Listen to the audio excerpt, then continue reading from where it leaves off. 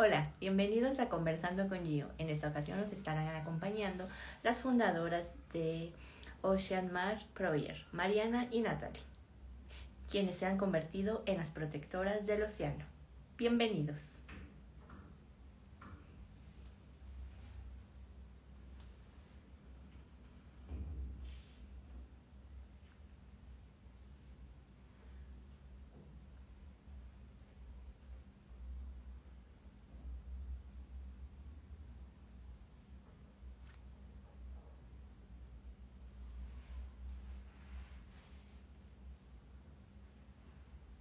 Vamos a dar unos minutos en los que se unen nuestras invitadas.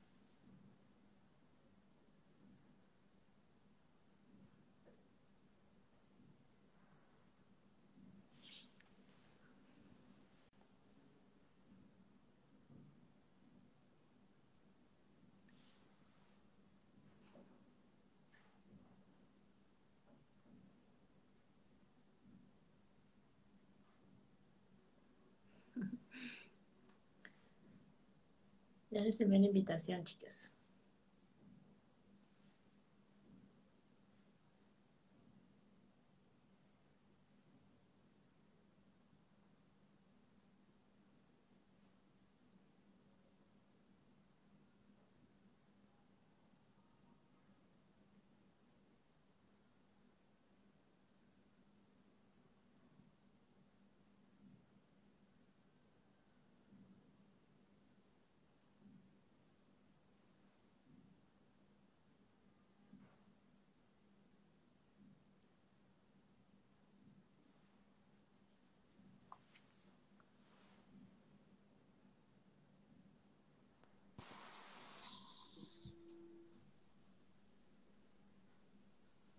Funciona.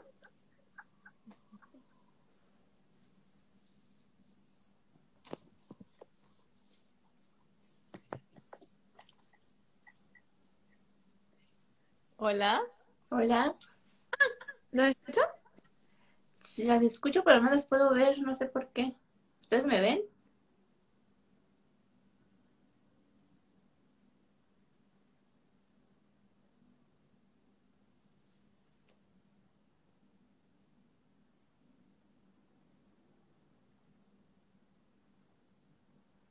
Estamos teniendo un par de problemas para hacer la conexión. Denos unos segundos, unos minutos. Hola, Rafa.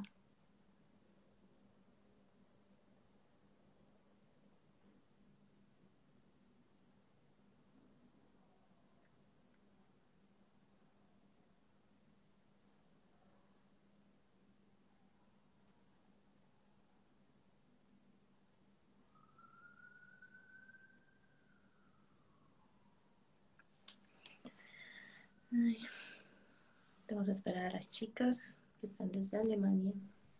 Hola. Ya, ahorita funcionó. Ya. ¿Cómo están? Bien, ¿y tú? Muy bien, feliz de tenerlas en mi espacio. Gracias. Gracias por invitarnos. Gracias por la invitación.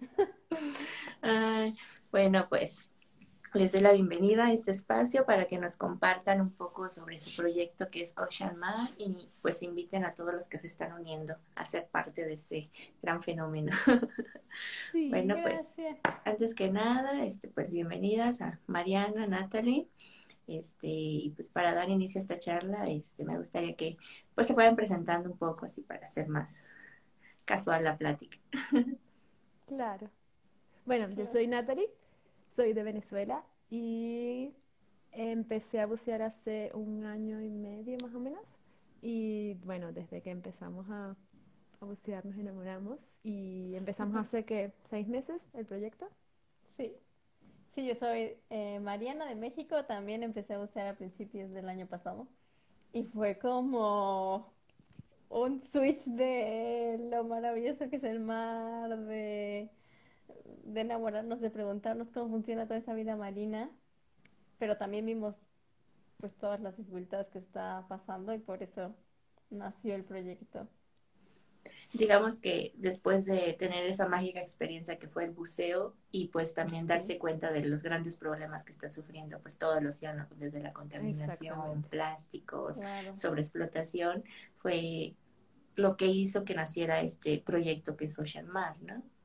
Sí, porque al buceando vimos animales atorados en plástico o, o buzos irresponsables que se acostaban en los corales para tomar la foto, ¿sabes? Entonces como que después de pensar fue de qué podemos hacer al respecto y Sí. bueno, se nos ocurrió Ocean Mar y aparte a la distancia porque vivimos súper lejos del mar Exacto.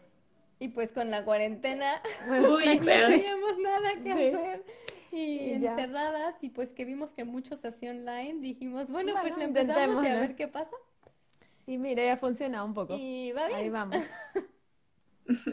Wow. Y ustedes ya, digamos, ya se conocían, ya eran amigas cuando empezaron Sí, todo sí, hace Hace como cinco, cinco años.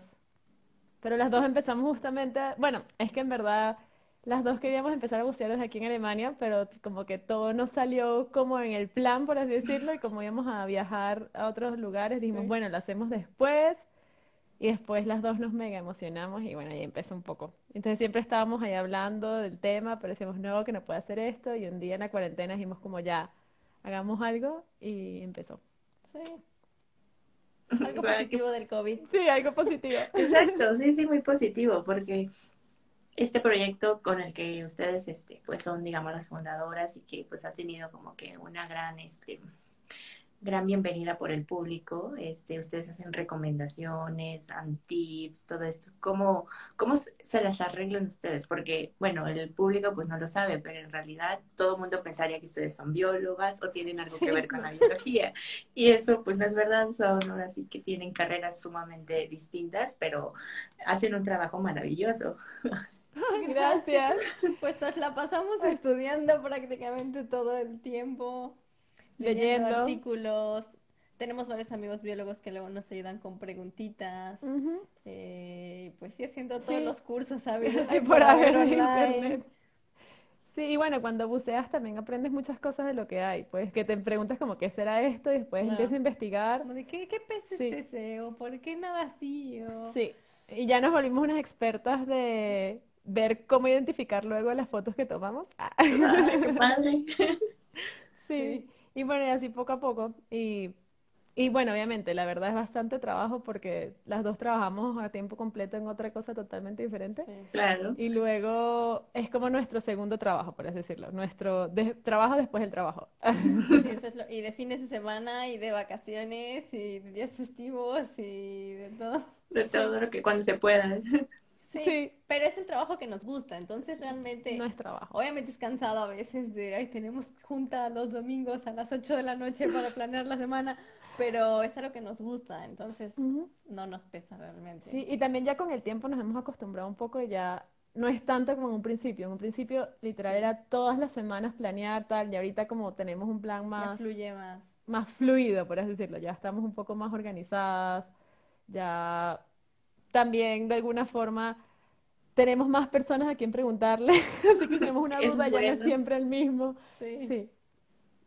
No, pues es maravilloso. Igual a ti, los amigos que se están uniendo, o, o no sé, algún biólogo que quiera colaborar con ustedes o ustedes lo quieran Claro. contactar.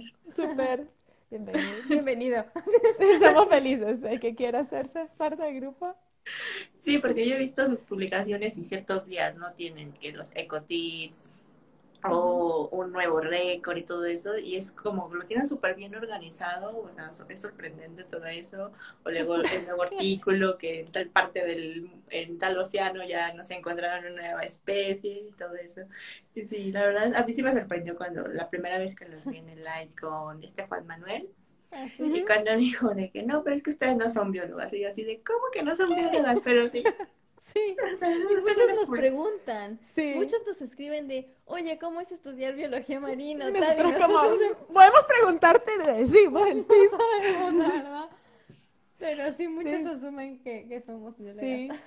O nos preguntan, hace poco nos preguntaron para, mm, hacer un curso con niños de caballitos de mar. Nosotros como, bueno, no somos expertos, no, no importa. Pensábamos que no éramos expertas en el tema como biólogas marinas. Pero que éramos biólogas. Pero que éramos biólogas. Y después del curso, nosotras nos estudiamos todo, o sea... De caballitos de mar todo, sabemos todo. de A a Z. O sea, Y luego del curso con los niños, ellos así como, ay, muchas gracias, es que ustedes no se ven como las típicas biólogas marinas, que son muy abiertas, y nosotros así como, un pequeño detalle, por cierto. no lo somos. Ay, no. No, no, pero es sorprendente, qué bueno que todo este trabajo que están haciendo pues ah, que está teniendo sus frutos. Y hasta ahora, eh, con todo esto de Ocean Mar, ¿cuál ha sido el mayor reto al que ustedes han enfrentado? Bueno, Pues un poco también la distancia, porque también al, al crear el proyecto nos dimos cuenta de que realmente en español casi no hay información. En inglés hay un montón de cursos, hay Sí. un montón de cosas, hay un montón de proyectos, pero en español son muy pocos. Hemos ido conociendo más, pero al principio en verdad no encontrábamos nosotras. Y dijimos, bueno, nuestro enfoque, como somos latinas, es Latinoamérica principalmente, ¿no?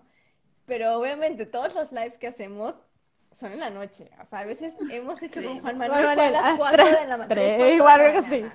Eh, todo pues es online. A nosotros nos encantaría hacer cosas en vivo y pues no se Claro. puede. Entonces ha sido, en parte COVID nos ha ayudado un poco, pero sí ha sido como de, bueno, tenemos entre que estar aquí y allá y todo es en la noche.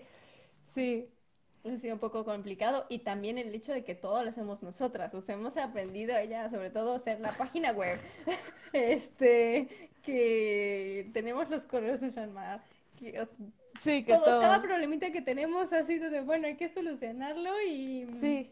Ah, con- aprendimos cómo crearnos una cuenta para enviar correos, para recolectar emails, toda la parte legal, que para crear la fundación, que siempre sale más y más y más cosas que al final, bueno, gracias a Dios en verdad siempre nos ayuda gente sí. y hemos conocido gente muy muy bonita que nos ha ayudado muchísimo y nos ha apoyado muchísimo en millones de temas y esto está súper cool. Pero sí, obviamente, a veces es un poco como, ah, y es demasiado y ya no sabes cómo empezar ni cómo organizarte. Es como, bueno, prioricemos, prioricemos. Porque tenemos tantas ideas y están surgiendo tantos proyectos, luego de organizaciones que nos hablan para cooperar de alguna manera y es como de, nos gustaría hacer todo ya, pero No no podemos. podemos hacerlo todo al mismo tiempo. Sí, Claro, pero hasta ahora pues han sabido organizar bien porque o sea, su, el proyecto iba bien en popa Sí, y todo súper bien. Cada día se unen más followers y, y muchas este, personas más pues están conociendo su proyecto. sí, sí. Igual la idea a nosotros es que más gente le interese y, o sea, no tiene que ser nosotros, pero que se le interese más el tema del océano, porque el tema que siempre decimos nosotros un poco es que no mucha gente tiene esa conexión, aun cuando vive cerca, y aún hasta buzos, que son buzos y tampoco se sienten tan conectados y le importa un poco, muy No poco saben lo la que está. del océano. Y simplemente es como, ay, vamos a ver bichitos o... Por la foto nada más. Exacto, por la Sí. foto que estoy buceando o lo que sea y no se dan cuenta de todo lo que está por detrás. Y bueno, y queremos como eso un poco, como que antes yo pensaba que si era buzo, una persona que era buzo, o sea, se va a enamorar y eso va a proteger el océano con todo su alma y tampoco. Entonces como que tenemos mucha, para así decirlo, un grupo al que podemos hablar de que podemos darle un poco más de este amor que nosotros sentimos para que se sienta un poco más conectado y Sí. que vean un poco más la Ujú. importancia y de lo magnífico que es. Y yo creo que también el punto que no somos biólogas también, como a nosotros nos interesa, sabemos un poco qué le puede como impresionar a alguien más. Y como nosotros lo estudiamos como de manera fácil para o lo estudiamos tanto para entenderlo sin el pensamiento biólogo, lo explicamos de manera fácil.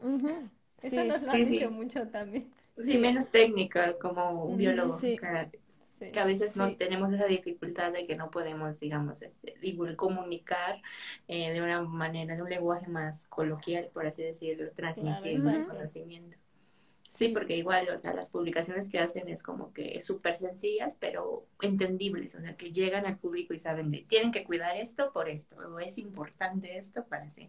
sí, Claro. sí. Bueno, también un poco nuestro, nuestro parte de lo que hacemos normalmente, porque también de alguna forma, aunque no tenga nada que ver, te ayuda un poco a abrirte un poco más la cabeza y utilizar ese, esos conocimientos también. Unirlos también con la nueva pasión, por así decirlo. Claro. Y hasta ahora, ¿cuál ha sido su mayor satisfacción, chicas? Uy, Muchas. muchísimas. Bueno, cada vez que la verdad muchos nos han escrito de que nos encanta el proyecto, estoy aprendiendo un montón. Una vez, y, y casi empezando el proyecto, una señora, de hecho mexicana, nos escribió, ¿dónde puedo adoptar un coral? Y fue Sí, como nos "Ay, emocionamos Dios mío, muchísimo". alguien quiere adoptar un coral. Fue como de, ya valió la pena. Ujú. Y también las clases que hemos hecho con niños, Ay, son lo más bonito. súper especial. O sea, yo creo que después de la clase que hicimos con niños, yo estuve como tres días que no me bajaban de una nube. Estábamos sonriendo todo el Todo el día así de, ¡qué hermosa es la vida! Fue súper bonito. Sí, porque aprenden, fue la primera con tiburones, con una fundación de Guatemala, y los niños te preguntan tantas cosas y, y Son muy curiosos, mismos sí. te Sí, Sí. una niña no- dijo de que, hablando de que si los tiburones son monstruos o no, y dijo, no, bueno, o sea, las películas que, que de Hollywood que los ponen así, obviamente es mentira y obviamente es como ficción para divertir. Pero lo que le tenemos que hacer caso es a los documentales. Y nosotros, bueno, si una niña de 10 años lo dice, y hay tantos adultos que, que No no captan, ¿sabes eso? Entonces, sí, la verdad, con los niños, Sí. Súper lindo. Y cuando les enseñábamos cosas, que se quedaban como sorprendidos. Muy bonito. O también con lo- el caballito que uno nos dijo como, ¿y los caballitos de mar hacen pipí? Así como, "Hmm, bueno. Sí, cada pregunta, una nos preguntó de los Ataque al corazón. Este, y a los caballitos de mar les da ataque al un infarto en la panza del papá y nosotros ¿Qué yo? no tenemos la más remota idea si les puede dar un infarto en la panza, no, como, lo vamos a Sí. investigar. O había uno también que estábamos hablando de, de que había un tiburón, no me acuerdo cuál, de cuál estamos hablando, que era ovovivíparo. Y le dijimos como, ay, ¿saben qué es un, que un tiburón sea ovovivíparo? Y un niño nos dijo, sí, quiere decir que sea ovo de huevo y vivíparo que vive. Y yo así, yo, ¿cómo un niño de cinco años sabe eso? No, que nos quedamos así como, guau, no. Sí. Ellos hasta terminaron enseñándoles, ¿no? Ustedes. Sí, había cosas que eran como de wow. O, o haciendo preguntas que nunca se, se me me hubieran ocurrido. ocurrido. ¿Sabes? Es como de, wow, nunca había preguntado esto de los caballitos, ¿sabes? Sí. O como, ¿qué hacen los caballitos normalmente? Y era como, bueno, O comen, cuánto duermen. Y es como, comen, tienen relaciones, duermen. Guau, qué padre, o sea, y qué mejor, ¿no? De que trabajar con niños que digamos que son como que la, el futuro. son el futuro. Y enseñarles desde pequeños a que la importancia de por qué cuidar los océanos, por qué conocer lo que hay, eso es súper bonito. Y entonces para hacer, digamos, ese tipo de dinámicas, ¿qué tienen que hacer? A ver, ¿los tienen que contactar? Cuéntenos un poco. Pues las hemos hecho porque nos han contactado realmente las organizaciones. La de los tiburones fue con Fundación Mundo Azul de Guatemala y la otra fue con una de Chile, Exploradores del Océano. Ellos nos han contactado y eh, así de y si podemos cooperar y nos comentaron que hacían estos cursos con niños y que si queríamos formar parte de uno y Nosotros sí, obvio. sí, claro, o sea, felices. Y ya, Y así empezó, sí. Sí. En general pues, hemos conocido a muchas organizaciones eh, Sí. de Latinoamérica, lo cual también nos ha gustado el saber que no somos los únicos, ¿no? Y que todos, muchos estamos haciendo algo especialmente de- con educación marina. De hecho, también estamos en una red latinoamericana para la educación oceánica que se llama Relato. Entonces también ahí conocemos a muchas y siempre Y siempre estamos en medio contacto. cooperacioncitas. Ujú. Y también lo chévere es que todo el mundo se quiere ayudar. Entonces no es algo así No hay como, competencia. como exacto, como en el mundo normal de, de los negocios. Bueno, si fuera de negocios, nosotros no, no tenemos ningún dinero en esto, pero que todo el mundo quiere como ser mejor que el otro. Aquí más que todo es como cómo nos podemos apoyar, cómo nos podemos ayudar. Sí, Y- nada de que yo tengo más seguidores que tú, ¿no? O algo así. Exacto. Claro, Al final todos No. tenemos el mismo fin y Así es. Sí, claro. Y, y es muy bonito porque, o sea, una de las cosas que nosotros en un principio no nos dimos cuenta, porque nosotros, por así decirlo, como siempre veíamos todas las cosas negativas que ocurrían en el mundo, por así decirlo, terminabas un poco como infoxicada, por así decirlo. Tenías demasiada información y estabas intoxicada de la información. Y la verdad, aprendimos mucho a comunicar un poco de forma diferente para motivar, porque lo que hemos dado cuenta mucho es que la mejor forma de motivar no es decir todo lo malo que ocurre, Así pero es. darle soluciones a los problemas que pueden haber. Y al, porque si una persona no se da cuenta que hay cosas que se están haciendo, es como, ay, ¿de qué me sirve yo hacer X? O sea, yo reducir mi plástico si en verdad las empresas van a seguir produciendo muchísimo plástico.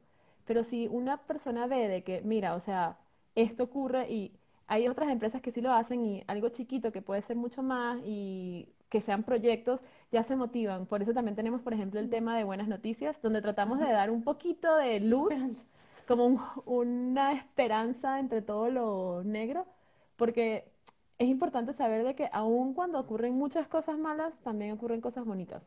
Así Y es. eso también hace que la gente se motive para hacer algo. Claro, y eso es súper importante, o sea, como bien lo dicen, dar un poco de esperanza de que por poco que uno haga en su casa, ya sea desde reciclar o, reducir el plástico, pues estás ayudando, o sea, porque al final sí. de cuentas, tristemente, eh, ustedes como se han percatado cuando bucean, este ya el océano está lleno de plástico y, o sea, cada Sí, vez ves menos especies, o sea, Sí. a veces las tallas de los peces ya son más pequeñas, ya no logras ver ejemplares mayores y todo esto por Sí. todo esto. Sí. Y este tipo de proyecto por el que ustedes hacen, que dan los ecotips, las buenas noticias, siento que pues ayuda bastante. Eh, por ejemplo, hace poco que ya sacaron uno que me gustó mucho, que es todo esto de que ya se acerca la Navidad, ¿no? Y las recomendaciones que ustedes dan. Eh, cuéntenos un poco para aquí. Bueno, de Navidad, básicamente, o sea, también lo que tratamos es un poco de que la gente sea un poco más consciente de su consumismo, Que se dé cuenta del impacto que tiene Exacto. también en, en porque el planeta. muchas veces la gente no se da cuenta de que esa camisita que se compró, lo que significa.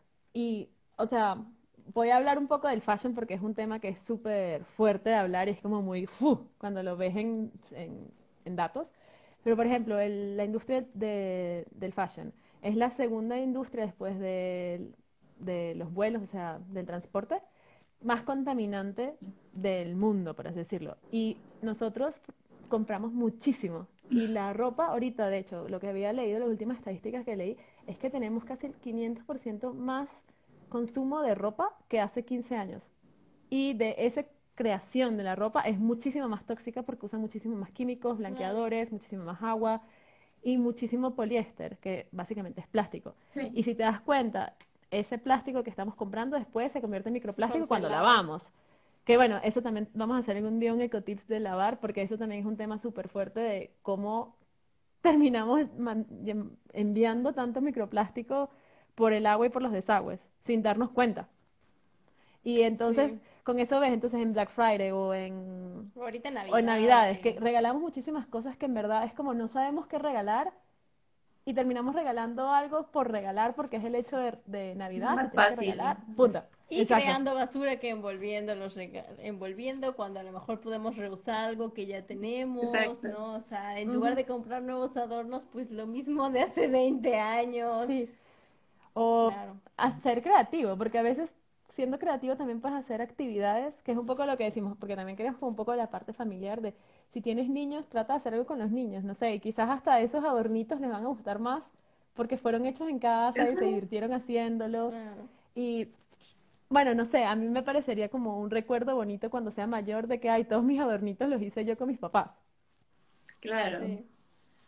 Sí, bien dicen, como que el consumismo, ¿no? Cada día estamos más este, atados a eso, o sea, como dicen, ya no más Ujú. compramos por comprar o así, o por estar Sí. a la moda, seguir algo así, ahí vamos, ¿no? Y pues no nos ponemos Sí. a pensar en todo el impacto que estamos generando. Sí. Exacto.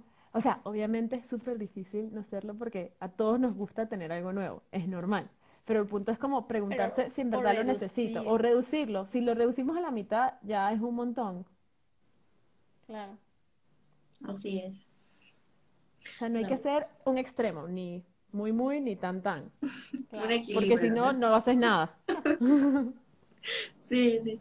O luego lo típico que, por ejemplo, no solo de reciclar o no sé, separar la basura, a veces ya hasta, por tan pequeñito que sea, es importante y a veces ni eso hacemos porque, ay, no me da flojera. O, o, o dicen de, ¿para qué lo separo yo si el de la basura viene y lo junta y ya no se me de nada? O sea, esas... Ese es un problema muy grande en varios lados, Sí. de que lo juntan. Pero hay centros de reciclaje donde lo puedes llevar, por ejemplo. Entonces es también buscar las opciones, ¿no?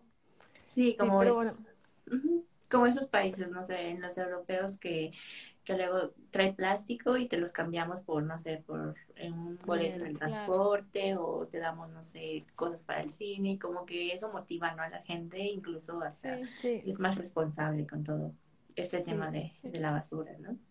Y también, o sea, lo que queremos un poco fomentar es, el reciclaje está bien, pero debería ser la última opción. O sea, primero es, no lo, no voy a comprar lo que no necesito, luego, bueno, si ya tengo esta botellita, la puedo reusar unas 30 mil veces en mi casa para lo que sea, y ya cuando de plano la botellita no da más, es de, ok, la voy a llevar a reciclar. Nosotras en nuestras, porque hay cosas que no puedes comprar sin plástico, es Sí. imposible, ¿no? Que que queso o no sé. Pero entonces nosotros estamos llenas De plástico. de botecitos tipo una mamá por ser me- mexicana, entonces pues, las mamás mexicanas de que los frijoles en la crema, El helado que nunca es helado. así estamos, y muchos nos critican, pero es como, bueno, si el botecito sigue sirviendo, Sí. ¿para qué lo tiro, no? O sea, cosas que de plano no puedes comprar sin... Ujú. Bueno, lo que estábamos también queriendo hacer, que estábamos pensando, era porque hace como, bueno, tres semanas, cuatro semanas, hicimos, como hacía un poco de sol, y fuimos a, a recoger un poco de basura cerca del río, aquí en Múnich. Y lo que nos dimos cuenta que nos sorprendió muchísimo eran los cigarrillos, las colillas de cigarrillos Ah. que eran impresionantes. O sea, recogimos como dos bolsas llenas de cigarrillos, que era impresionante. Impresionante. Y Sí, siempre eran sí. como en esquinitas. Dijimos como, Y porque encontramos una zona literal junto al río, en un puente de que está a un centímetro de que se caiga al río, pero llena. O sea, encontramos en ese lugar, yo creo fácil unos, unas 100 colillas. Estábamos Oh, sí. recogiendo, recogiendo, recogiendo. hicimos un montón de sentadillas, o sea, tres días con dolor de pierna, recoger Pero colillas. dijimos, a ver, ok, los alemanes eh, podrán ser muy limpios, pero en cuestión de colillas, no. No. Entonces se nos ocurrió que vamos a hacer este con latas eh, ceniceros. Los vamos a ir a poner al, a ese puente y por donde vimos puntos específicos donde hay Sí. muchas colillas. Y con como información acerca de, por ejemplo, lo contaminante que son las Claro. colillas, Sí, porque no mucha gente sabe. Claro, porque muchos dicen, ah, no es, es una cositita así, ya, pero no saben lo que significa que entre, que llega al agua, ¿no? Que contaminan litros y litros de agua. Así es. Wow, pero Sí. qué, qué padre esa iniciativa, bueno, que hicieron. Que me imagino que cuando ya pase COVID y todo esto y se pueda hacer más, hacer más imagino que, grande. que van a hacerlo más grande, ¿no? Y eso igual las limpiezas submarinas, ¿no? Que han estado como que muy eh, más a, Sí, a la vanguardia, ¿no? De que varios centros de buceo se han unido para hacer este tipo de limpiezas, ¿no? Sí, de hecho, la semana pasada estuvimos en Egipto buceando Oh, qué padre. y hicimos un liveaboard y era impresionante. Sacamos kilos, en verdad, kilos de, de red de, no red, de pesca. línea de pesca, Pero pero impresionante. kilos. Era Y, y era, estar buceando todo el tiempo, cortando línea, metiendo a la bolsita, cortando línea. sí, y entre los corales, entonces era como Súper cortando así cuidadoso. poquitico, así, y quitando, que al final teníamos amigos que también se unieron a, a A sacar eso. corales. En una de esas sacamos, sacamos un, encontramos un tapete con la boya ahí, todo el buceo yendo con el tapete porque pesaba, entonces inflamos la boya y ahí. Un excusado. Una, una, Había un excusado, sí, lo vamos a y subir a estaba las redes lleno porque de, de foto, corales. que ese excusado pues ya está adentro había corales, entonces se, se va a quedar ahí, pero ahí el excusado con todavía con el azulejo abajo, con con, la alcan- con el desagüe, con tubos atrás, o sea, Sí, motores. impresionante, un motor enorme. Así, vimos así como una mesita con sus botellitas paraditas, que era así como, ok. O sea, es como, literal es como si hubieran dicho, ah, mira, esta zona hay que hacerlo basurero y fueron a tirar todo. Sí, Ay, no, qué súper triste. triste. sí. Sí.